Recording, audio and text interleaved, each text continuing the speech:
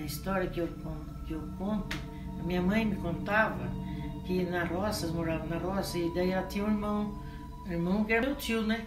Ele era pequeno, daí sumiu, ele sumiu, foi, é, levaram ele, né? Não sabia quando ele foi e sumiu. Aí depois ele, quando ele apareceu, que ele demorou a aparecer, foram procurar tudo, não achava. Aí falaram, perguntaram para ele onde você estava.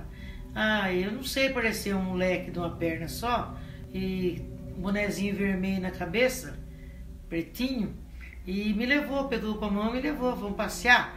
Fui passear, né? Daí quando ele voltou, ele falou assim, ah, é, é que encontrei um moleque, um pretinho, com um bonezinho vermelho na cabeça, ele me levou e sumiu comigo. E agora que, ele, já, que, que eu cheguei de volta, fui procurando os lugares e cheguei que era o Saci Pererê.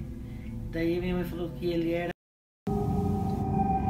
lobisomem, que a pessoa que tivesse. Mas a gente sabe disso, né? Que tivesse sete filhos homens, tudo criado, não tivesse nem uma mulher no meio, daí diz que o último era lobisomem, né? Daí diz que ele sumia tudo ia pra rua, né? O último. E sumia, quando aparecia, ele tava tudo com o dente cheio de cobertor no, no na boca, assim, que ele rasgava, cobertor das pessoas, de criança que estava no colo da mãe, assim. Daí chegava em casa, sabia que ele era lobisomem, porque estava com o cobertor tudo fiapo assim na, no dente. Vai falar? Aí ele falou assim, ele foi na casa do, dos vizinhos, no sítio, né? É tudo escuro o sítio, né? Tudo cheio de mato, tem que andar para os escuros, né? Aí disse que eu, ele vinha indo embora despediu do, do pessoal lá e embora, né? Ele quem?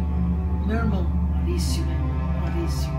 Aí, isso foi verdade que ele foi. Né? Daí ele falou, mas escuta aí, você vai, você vai embora, você não tem medo? Não, cuidado, hein?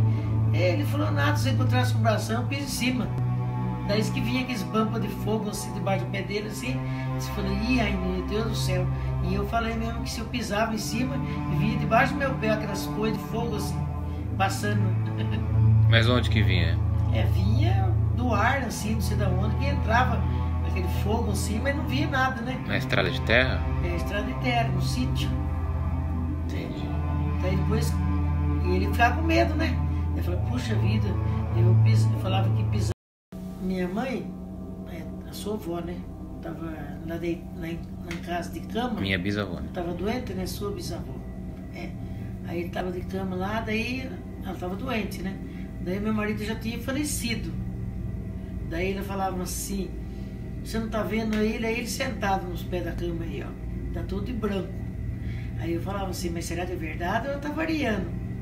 Sonhando com meu marido que tinha morrido, né? Ela falou, você não tá vendo? Eu falei, eu não, mãe. Ele tá aí, ó, sentado aí. E disso sumia. Aquele furto ia embora. Daí. A avó Rosa que via. E a senhora nunca viu? Eu nunca vi. Se eu estiver dormindo com a luz, pra lá, aquela luz lá, né? Acesa. E veio a pessoa, eu tô dormindo, eu dormi, eu peguei no sono. Por isso eu tenho medo de pegar no sono na casa dos outros. Aí a pessoa vem e desliga a luz lá, né? Aí eu acordo assustado, com escuridão, não sei onde eu tô. E vem até grito assim. E daí fala, oi, acenda a luz, quem que apagou a luz?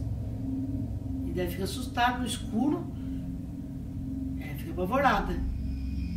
E, sei. e por quê? Parece um pesadelo. Ai, não sei. Não sei o que, que é, não. Ai, nem gosto de dormir na casa dos outros. Quando eu vou dormir assim, eu abro os olhos depressa para não dormir. Acho que eu tenho que contar isso pro médico.